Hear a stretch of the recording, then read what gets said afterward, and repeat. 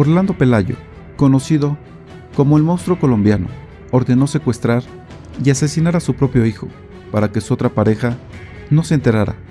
Descarada y cínicamente, habló frente a la televisión pidiendo a los secuestradores que no le hicieran nada y que se lo regresaran sano y salvo.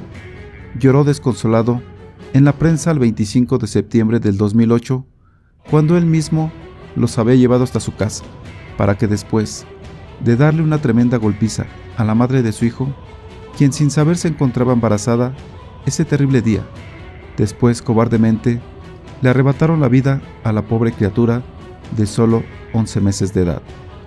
Hola, ¿qué tal? Mi nombre es Luis Ariano. Antes de comenzar, quiero invitarte a que te suscribas al canal, dale like y comparte este video.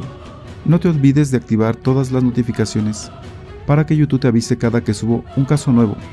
La pregunta es, ¿cómo alguien tan cobarde puede llegar a hacer algo tan terrible a una inocente criatura? Siéntate, ponte cómodo, abróchate el cinturón y acompáñame a saber todos los detalles.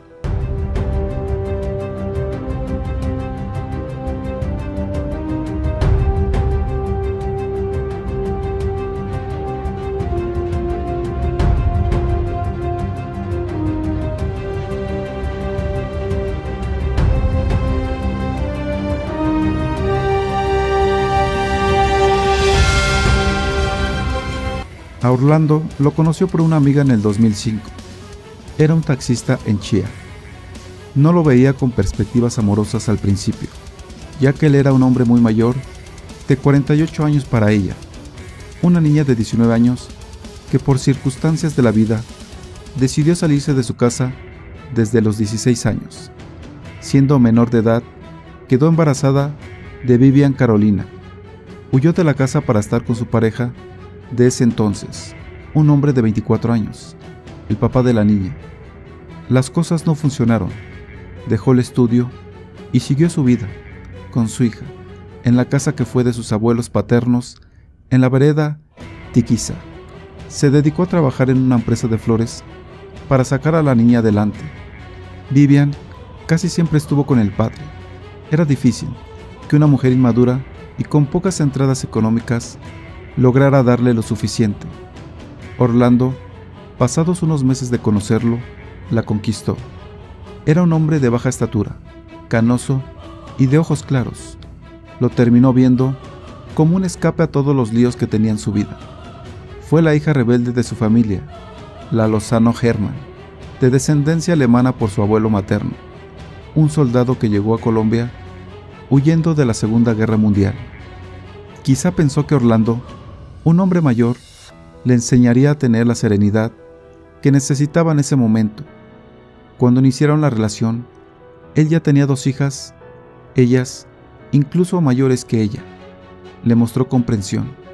Contaba que era un buen padre a quien le tocó sacar adelante a sus niñas tras el abandono de la madre. Se veía como un tipo bueno, muy normal, alguien de quien se podía fiar. Tras al menos un año de relación, quedó embarazada de Orlando. Esa noticia lo cambió por completo. Le dijo que ya era una persona adulta para tener un bebé a esas alturas. Con esa respuesta, él se desapareció y quedó sola con el bebé que venía en camino. Nunca convivieron, aunque a ella no le importaba mucho su ausencia. Era una joven trabajadora, más centrada y determinada a tener a ese varoncito a quien llamaría Luis Santiago. Luis Santiago nació el sábado 24 de octubre del 2007.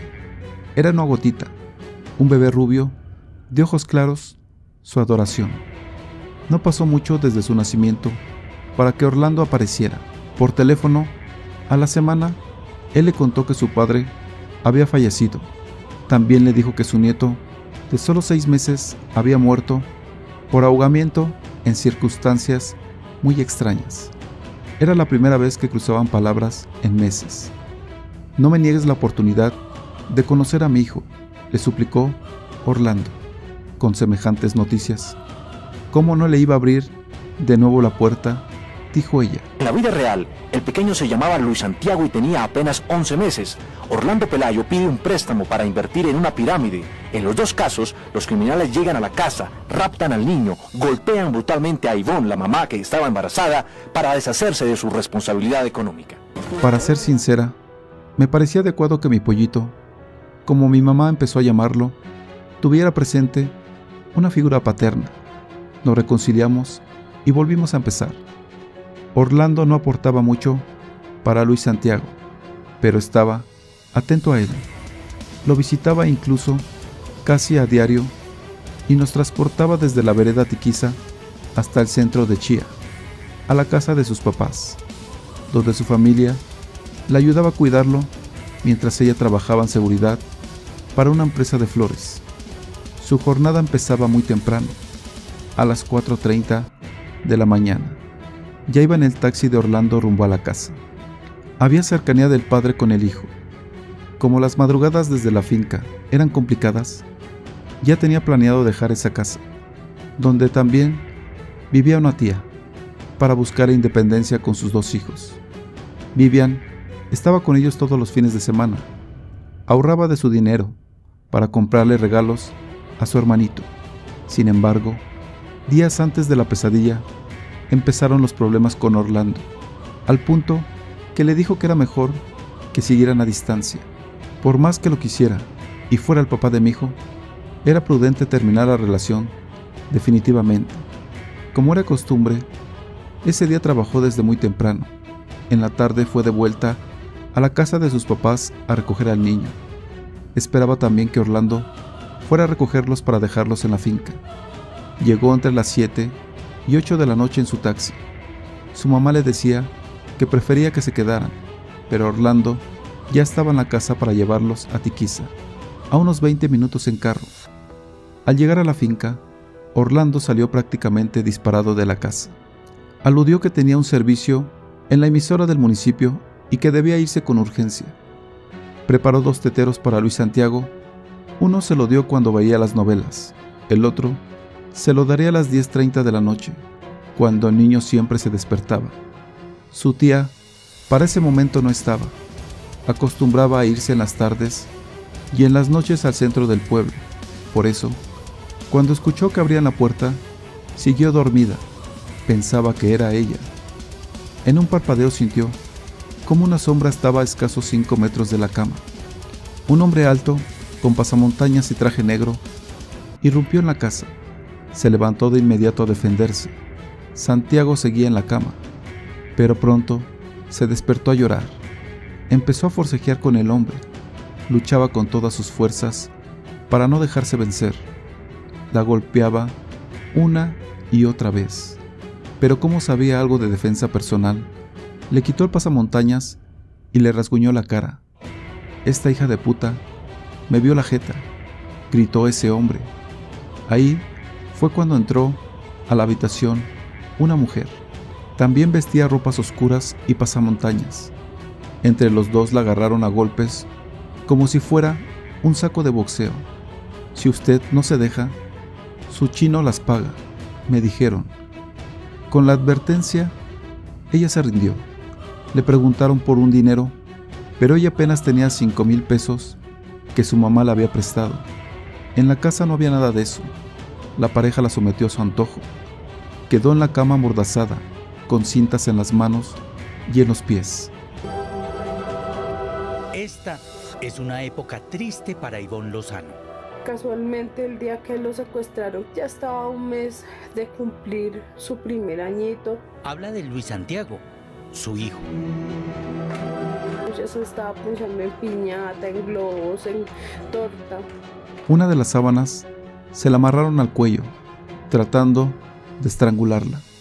Con un cable de celular entre los dedos de las manos, la ataron a la base metal de la cama.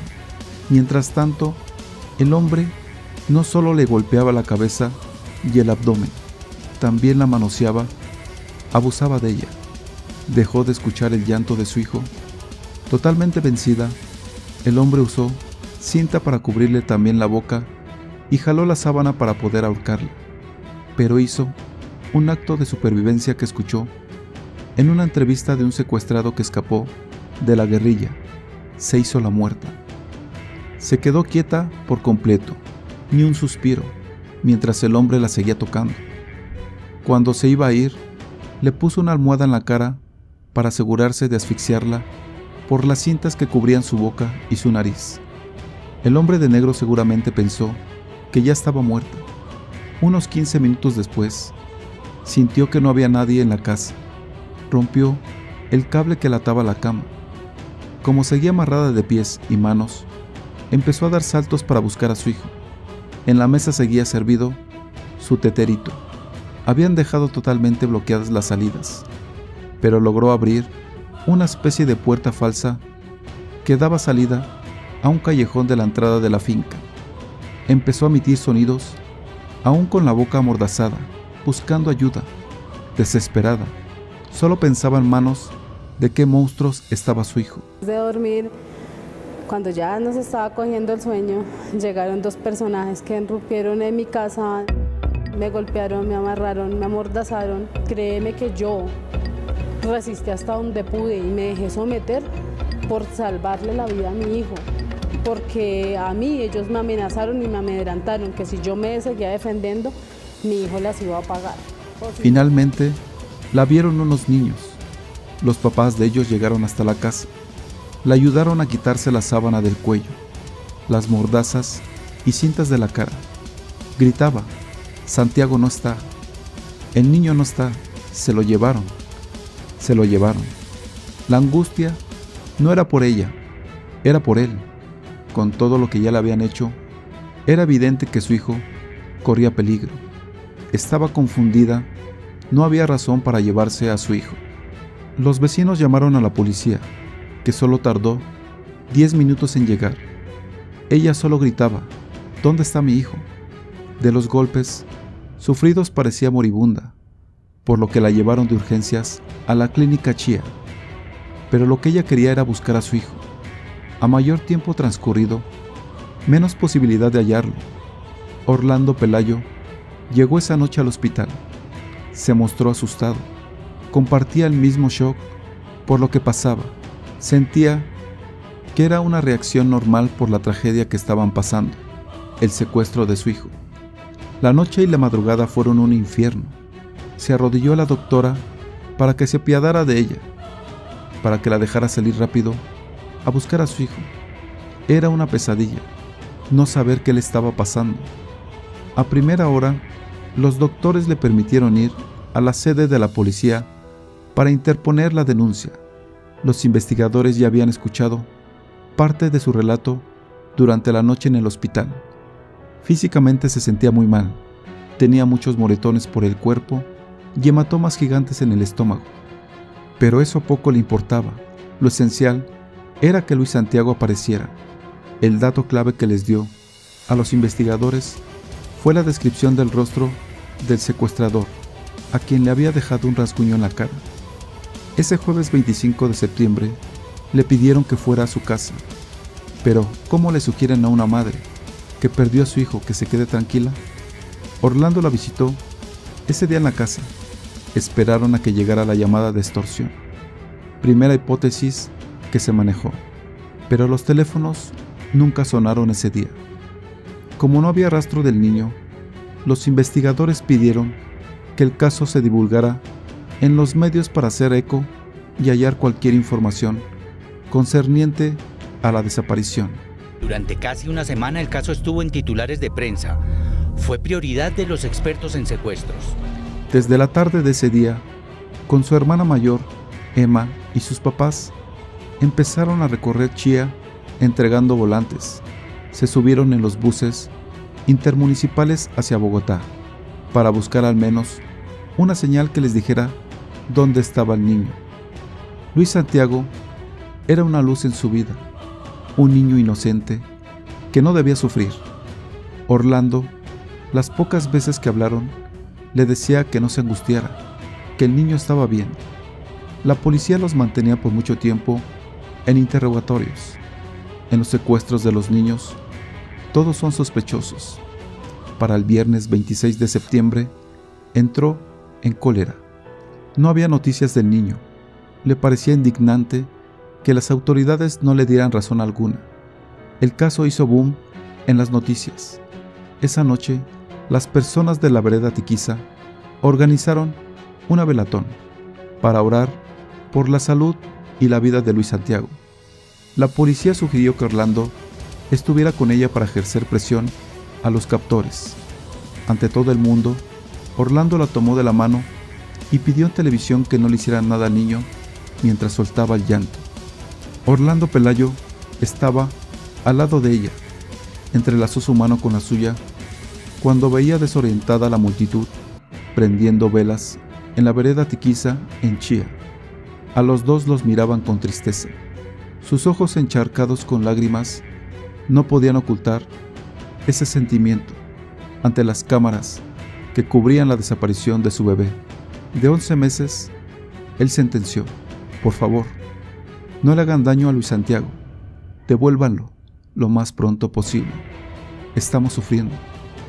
Orlando Pelayo, el padre, apareció muy compungido en una velada que pedía el regreso del niño. Todo el mundo decía, pobrecito el papá, mire, tan consternado, llorando porque le devuelvan su hijo. Por favor, que no le hagan daño y lo más pronto posible, pues que le devuelvan. El papá súper preocupado, como cualquier papá hubiera estado, ¿no?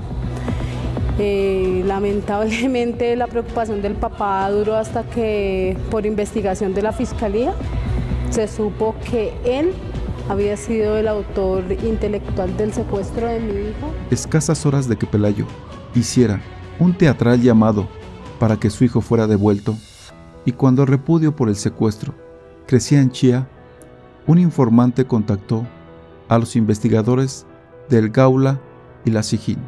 Para ese momento, la recompensa había subido a 20 millones de pesos. Hasta entonces se seguían dos pistas sobre la desaparición del niño de 11 meses, una eventual represalia contra Ivonne, la mamá, y un secuestro extorsivo, pues el padre había recibido un préstamo de 8 millones de pesos. De camino a la casa, en su taxi, él le dijo que nunca atentaría contra Luis Santiago. Algo asustado, le indicó que él estaba en la lista de sospechosos por la desaparición de su propio hijo Nunca se le pasó por la cabeza que tuviese algo que ver. El sábado, tres días después del secuestro del niño, el municipio organizó una misa para seguir orando por el bienestar de Luis Santiago. Un periodista le dijo que el presidente de ese entonces, Álvaro Uribe, estaba en una cumbre con los alcaldes de Cundinamarca en Cota, pueblo vecino de Chía. Logró hablar con Uribe él aumentó la recompensa por información que permitiera la captura de los secuestradores. Tras esa visita, explotó todo. En la tarde, la policía le informó que habían capturado a dos sospechosos de la desaparición de su hijo. Se trataba de Marta Garzón y Orlando Ovalle Moreno.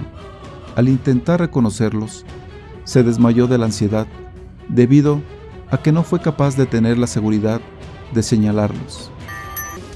Lo único claro es que el hombre sí tenía el rasguño que le había provocado. Esa misma noche, Orlando Pelayo, el propio papá de Luis Santiago, fue capturado por ser sospechoso de la desaparición. En la primera ocasión dijo, un informante, Pelayo, le había ofrecido 300 mil pesos. Luego le habló de 200 mil más. Y hubo un tercer ofrecimiento, hacia solo 11 días.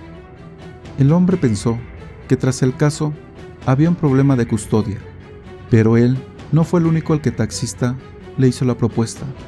Los investigadores recibieron la llamada de un segundo hombre, también con antecedentes, al que el padre había contactado hace solo dos meses. El informante que había sido detenido por abuso de menores confirmó que el taxista le propuso raptar al niño y desaparecerlo. Los indicios contra el padre se afianzaron cuando apareció un tercer testigo con la misma versión. Con esa base, Fiscalía y Policía empezaron a interrogar a Pelayo y no tardó en entrar en contradicciones sobre horas y lugares. Lo que creen los investigadores es que Pelayo no planeó la desaparición de su hijo para evitar una demanda por inasistencia alimentaria, como él había dicho.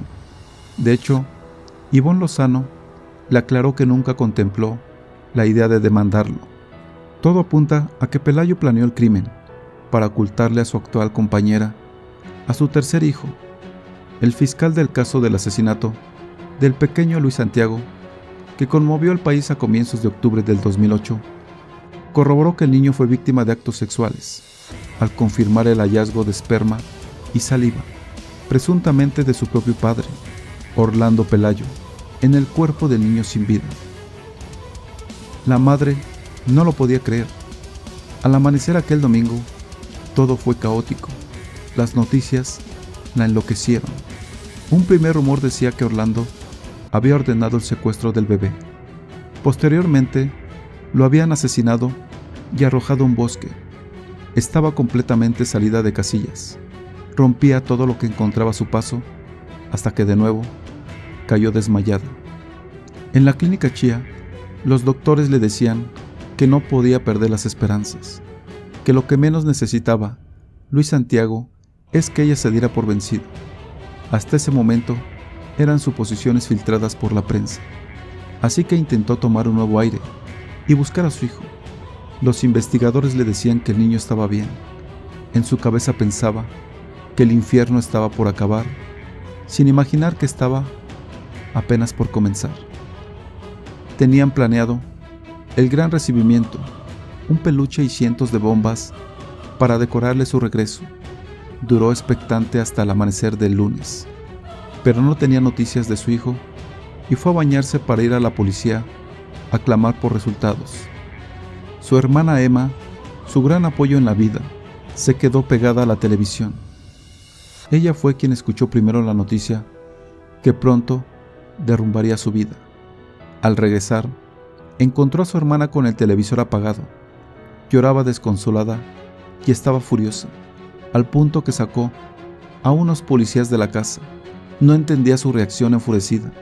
Le decía que también explotó por la falta de noticias.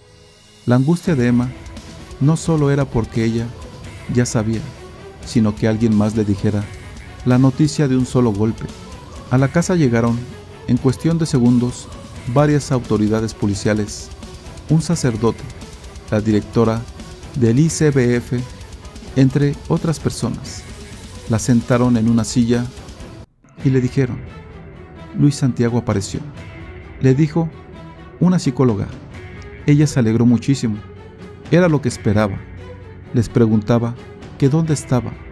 Les insistía en que lo quería ver. A los pocos instantes de júbilo, la misma psicóloga tuvo que completar la oración que jamás hubiera querido escuchar. Luis Santiago apareció, pero apareció muerto. Acababa de recibir el peor golpe de su vida. Luis Santiago no murió solo, ella también se moría en ese momento. Perdió el conocimiento. Solo hasta la noche de ese lunes reaccionó otra vez en la clínica Chía. A su hijo lo encontraron en un cerro de Chía, envuelto en una bolsa blanca.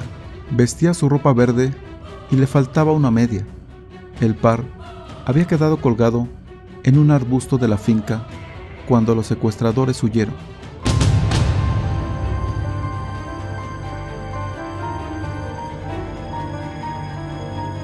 Su carita, la parte de arriba y su tronco está a esta parte. Parece como si lo hubieran cogido a la fuerza y lo hubieran metido en la bolsa. Le hicieron pruebas de ADN para cotejar completamente la identidad de su hijo. Su familia también reconoció su cuerpo. Sentía que un huracán, un volcán o un terremoto la revolcaban en esos momentos. No hay peor sensación que escuchar que un hijo murió. Se preguntaba cómo había llegado hasta ahí, cómo la torturaban de una manera tan cruel. Lo único que ella deseaba era morirse e irse con su hijo. No había un Dios que curara ese dolor. De hecho, lo odiaba. ¿Dónde estaba él en el momento cuando asesinaron a mi hijo? argumentó. Con su dolor, lo único que quería era estar sola y llorar a su hijo en la habitación del hospital. esperando colapsar para estar con él. Un psiquiatra ingresó al cuarto para intentar consolarla, una misión imposible. Tras minutos hablándole de que debía seguir luchando, en ese momento el médico le lanzó otra bomba. Ivonne, usted está embarazada, le dijo. ¿Cómo iba a estar embarazada cuando lo único que quería era morirme? Eso era lo que pasaba por mi mente, por mi cabeza, decía ella. No quería ver a nadie. Salió corriendo a unas escaleras del hospital. De ser posible, quería que la tristeza se la tragara. Se preguntaba las razones por las que debía seguir adelante, por las que tenía que avanzar. Su mamá en ese entonces llegó a consolarla. En un día se enteraba que había perdido a su hijo y que tenía otro bebé en camino, también de Orlando Pelayo. Su madre le pedía, en la capilla del hospital, que se refugiaran en Dios, pero no había poder humano que la llevara a hacer eso. Miraba al crucifijo con odio, con rabia. Lo que sí le pedía en ese momento era que la dejara morir en paz. Unas horas después, recibió la visita del presidente Uribe y de su esposa, Lina Moreno. Le pidieron que luchara por el niño que venía en camino. Tenía tres meses de embarazo. Es un momento muy duro, porque para ella su hijo no estaba muerto. Ella lo sentía en su corazón. Quería que alguien saliera y dijera que todo era una equivocación. Verlo en el cajón fue la peor sensación. El dolor era fatal. ¿Cómo tendría que asumir que mi hijo ya no estaría conmigo? Estaba viva porque respiraba, pero yo no estaba ahí, comentaba. Cuando lo enterraron, se desmayó como si se fuera a ir con él. Entró en sí en la noche, de nuevo, en la clínica de Chía, sabiendo que ya no lo tendría. Duró tres días hospitalizada. Tenía dolores físicos y emocionales. Además, la vida del bebé estaba en peligro. Cada día se despertaba con odio, dolor. La sensación no desaparecía ni durmiendo. Maldecía a Orlando Pelayo. A medida que avanzaba su embarazo, pensaba cómo reconstruiría las ruinas. Quería tener a su hijo, dejárselo a su hermana y morirse. Ese era el deseo de ella. Se levantaba con miedo de tener al bebé y que le pasara lo mismo que a su hermanito Luis Santiago. Acompañó cada audiencia contra Orlando Pelayo.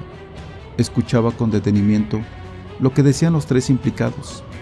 No entendía cómo Marta Garzón y Orlando Valle hablaban de lo que le hicieron como si fuera una proeza. ¿Quién estaba detrás del horrible asesinato de Luis Santiago Lozano?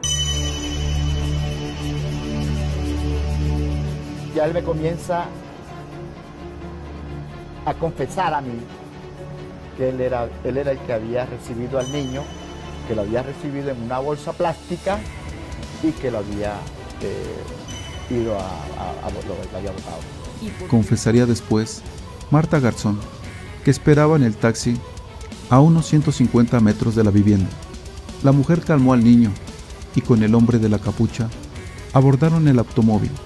Recorrieron la vía hasta el cerro y creen los investigadores probablemente que el niño murió en el carro asfixiado con una bolsa. Pero Pelayo confesó que la mujer se ofreció a matar al bebé. Si quiere, lo hago yo para que no le vaya a dar remordimiento. Fue la frase consignada en el expediente. Lo asfixiaron para después echarlo en un costal sin ningún remordimiento. Cuando habían transitado 1.9 kilómetros, arrojaron al bebé en el sitio donde terminó la búsqueda, a las 7.30 de la mañana. Pelayo había descrito el lugar.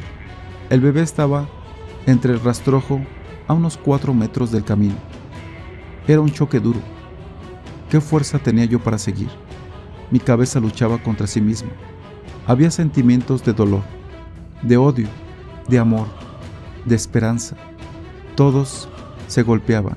Y en mi vientre sentía al niño que venía en camino, afirmaba la madre. Las semanas posteriores a la muerte de Luis Santiago transcurrían. Los mensajes de su mamá y del mismo Álvaro Uribe hacían eco en ella.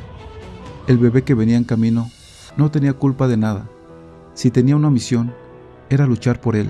Por eso, cuando el niño nació, se acordó de lo que dijo Uribe, que el bebé era un angelito, así que lo llamó Ángel.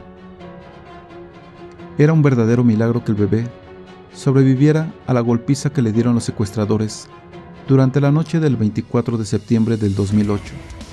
Es probable que ese ángel le salvara del demonio que enfrentó aquel día.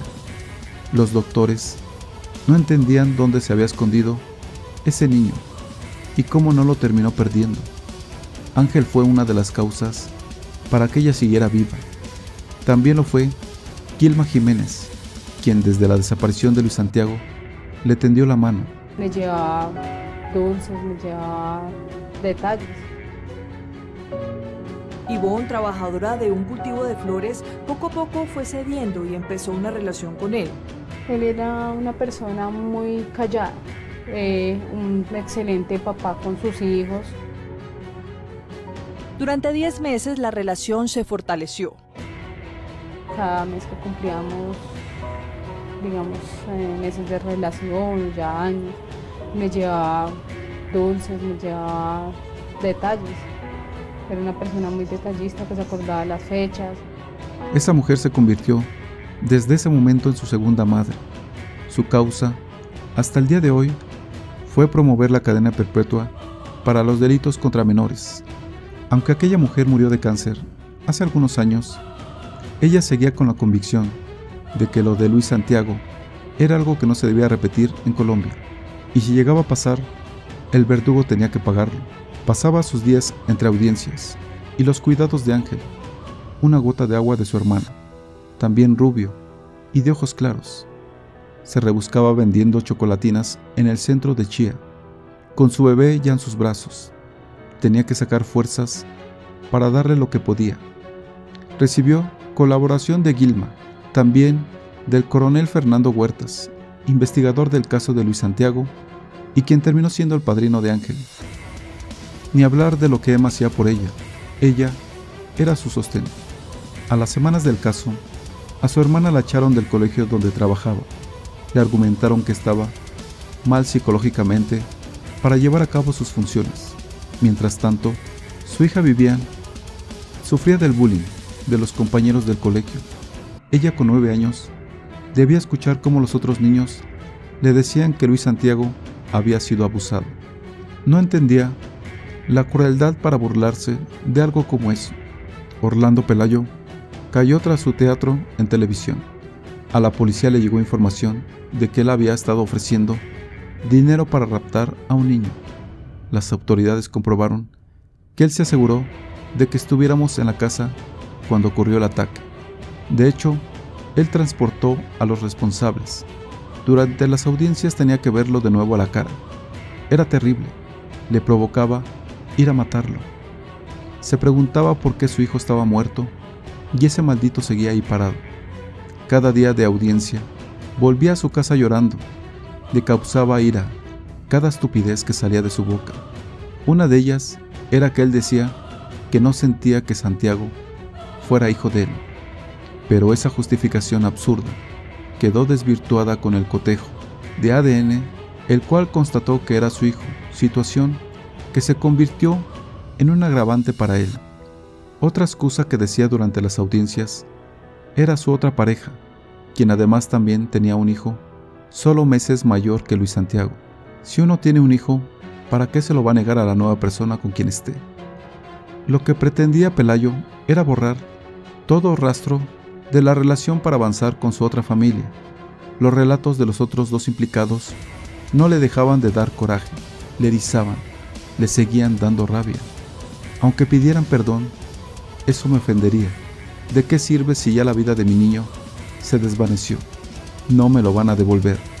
Las cosas que hicieron son irremediables, contestó. A Orlando Pelayo lo condenaron a 60 años de prisión. Sus cómplices, Orlando Ovalle y Marta Garzón, fueron sentenciados a 27 años de prisión por el secuestro agravado de su hijo. La pena no le devuelve al niño, pero le garantizaba que nadie atacaría a Ángel y otros menores no sufrirían con ese monstruo. A los dos años del crimen de su hijo, se trasladó a Bogotá, a un apartamento que el gobierno le regaló en Usme. Trabajó varios años en el restaurante de una cadena de supermercados. Parte de su vida quería dejarla en Chía, en su pueblo donde recordaba todo el tiempo lo que pasó. Incluso nunca más volvió a la finca. Sus cosas se quedaron allá. Hasta vistió por muchos meses la ropa de su madre, debido a que cualquier cosa le recordaba el momento de su tragedia.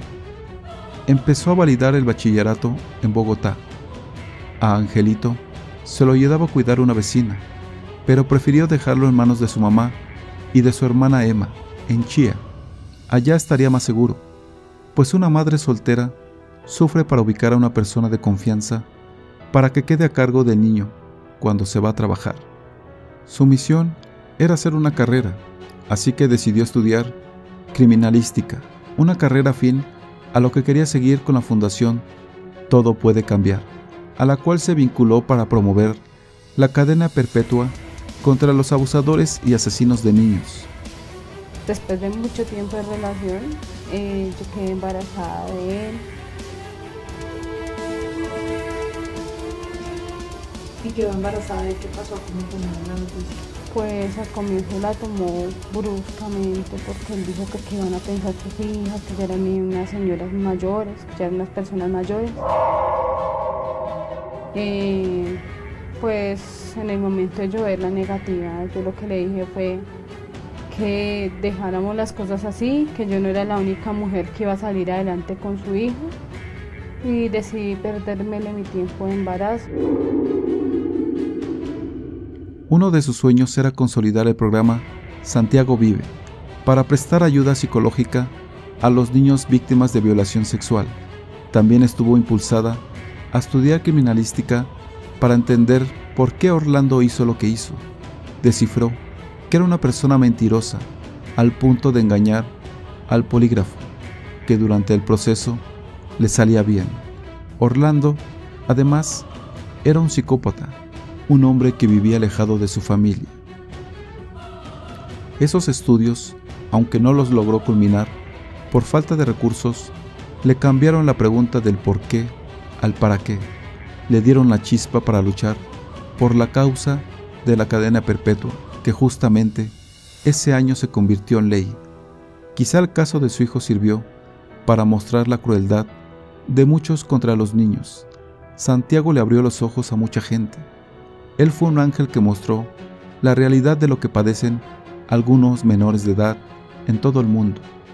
Es doloroso no haber tenido ese reencuentro, dándole un abrazo, un beso y el peluche que le compró, no haber disfrutado su niñez y su adolescencia, como cualquier otro, pero lamentablemente una persona le quitó ese derecho.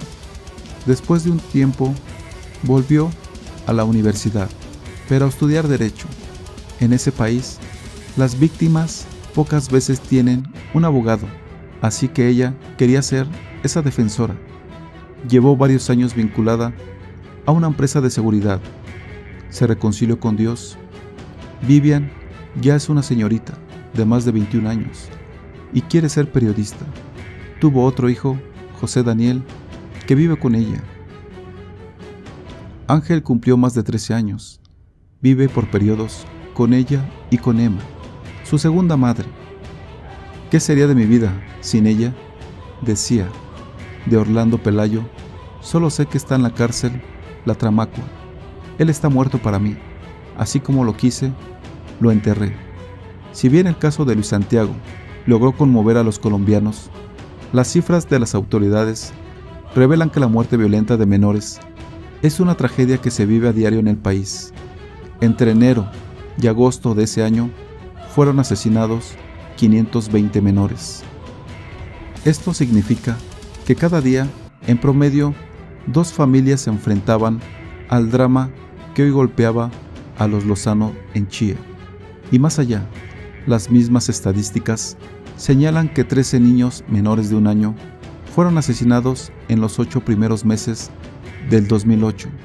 En el mismo lapso, han sido asesinados 123 niños de menos de 14 años. En la mayoría de los casos el agresor estaba en casa. Algunas veces son los padres y con mayor frecuencia los compañeros de madres solteras o separadas. Tras el paso de los años, la mujer logró continuar con su vida, obligada a sacar adelante a sus otros hijos y a luchar a diario contra la depresión y vacío que le dejó el vil asesinato de su bebé de ojos claros. Y aunque durante varios años no fue mucho lo que se supo de Ivonne, en el año 2020, en medio de la pandemia, la mujer reapareció en redes sociales dando a conocer un poco sobre su vida. Fue a través de una cuenta en TikTok que comenzó a saberse nuevamente de la mujer, quien comenzó a utilizar esta red social para divertirse subiendo videos de bailes o mímica. Sin embargo, los contenidos que más comenzaron a llamar la atención fueron cuando tocó el tema de Luis Santiago, pues en medio de sus publicaciones aparecen ya varios contenidos en que la mujer recuerda a su bebé y la tragedia que vivió por culpa del hombre que les acabó la vida. En varios videos valientemente, Yvonne relata lo sucedido en septiembre del 2008, cuando comenzó su tragedia y da detalles de cómo terminó esta historia que conmovió a toda Colombia. Cómo conocí a una mujer que le hizo una promesa a mi Santi. Bueno, como ustedes todos tienen conocimiento, pues para mí el tema fue muy duro. El adaptarme pues a la ausencia de mi hijo fue algo terrible. Mm, al comienzo pues yo no salía al cementerio, yo mantenía en el cementerio. Mm, era muy complicado, yo mantenía llorando. Mm, yo no me adaptaba a la ausencia de mi bebé. Resulta que pues como yo estaba en embarazo en ese tiempo, yo tenía dos meses y medio, casi tres, a mí me dio como el antojo de comer heladito. Y mi mamá pues fue y los compró. Y la discusión fue muy boba porque resulta que ella compró unos helados que yo no quería y pues pobrecita mi mamá, yo andaba de un imposible y un insoportable tenaz. No era tan fácil soportarme a mí nos disgustamos con mi mamá, discutimos y yo me le escapé a mi mamá de la casa. Yo llegué al cementerio llorando, diciéndole a mi hijo que por favor me llevara, que yo no quería seguir viva. Así aparecen varios contenidos en que la mujer habla de varios detalles de su vida alrededor de esta tragedia, que la marcó para siempre. Por ejemplo, cuenta que no ha vuelto a saber nada de Orlando Pelayo, ni cómo transcurre su vida en la cárcel donde paga una condena de casi 60 años y donde están recluidos los llamados peores asesinos en Colombia, como Luis Alfredo Garavito y Rafael Uribe Noguera. También dio a conocer que no tiene contacto con la familia del asesino, pese a que luego de la tragedia, ella tuvo otro hijo del hombre, pues estaba embarazada cuando Orlando asesinó a Luis Santiago.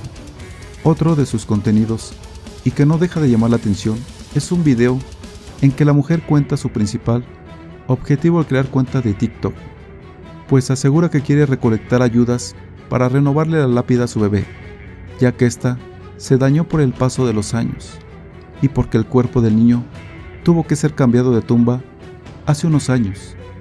En cerca de tres videos, Yvonne relata un episodio que vivió a los pocos días de haber enterrado a Luis Santiago princesas, mis príncipes, para las personitas divinas que me pidieron la segunda parte. Yo ese día llegué súper desconsolada al cementerio, llorando, mmm, pidiéndole a hijo que me llevara, que yo ya no quería seguir viva. Pues me encontré con esta señora, me abrazó, me llevó a una cafetería y allí me contó su historia. Me comentó que ella tenía una niña, que pues ella había nacido con una condición de síndrome de Down y que a su niña pues por temas médicos ya la tenían tácitamente como desahuciada, que ella cuando se enteró de la historia de mi hijo lloró mucho y pues le pidió a mi angelito que por favor la ayudara a su niña, que si su niña se le lograba salvar, ella me buscaba y me ayudaba. Bueno, pues contándome toda esta historia la señora se me conmovió muchísimo el corazón, ella me abrazó, nos pusimos las dos a llorar. Ojalá y algún día la vuelva a ver, muy linda, muy bella persona. Y que cuenta que tras enojarse con su mamá en casa, salió corriendo al cementerio donde yacía el cuerpecito de la víctima. Allí conoció a una mujer que le dijo estar muy conmovida con la historia del bebé de Chía y además le aseguró que el niño le había hecho un milagro. En agradecimiento al milagro que aseguró que Luis Santiago le había hecho, la mujer le regaló la lápida a Ivonne para la tumba de su niño, la cual se conservó durante varios años, hasta que tuvo que ser removida para trasladar el cuerpo del menor. En los videos la mamá del llamado bebé de Chía esperaba contar con la colaboración de las personas para poder comprarle nuevamente una lápida, ya que en el traslado del cuerpo la otra se dañó. Además dice que sueña con adecuar el espacio donde ahora reposan los restos de su amado bebé para que la gente pueda seguir visitando, pues Ivonne Lozano cuenta con alegría y agradecimiento que es mucha la gente que suele ir al cementerio buscando la tumba de Luis Santiago para rezarle, dejarle flores, juguetes y hasta para pedirle milagros.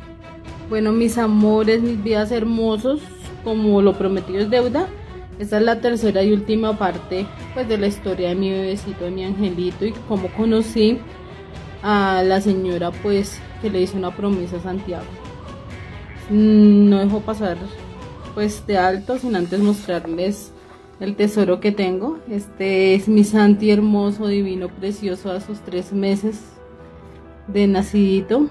Mm, todos los meses le tomábamos fotos, todos los meses le celebrábamos cumpleaños.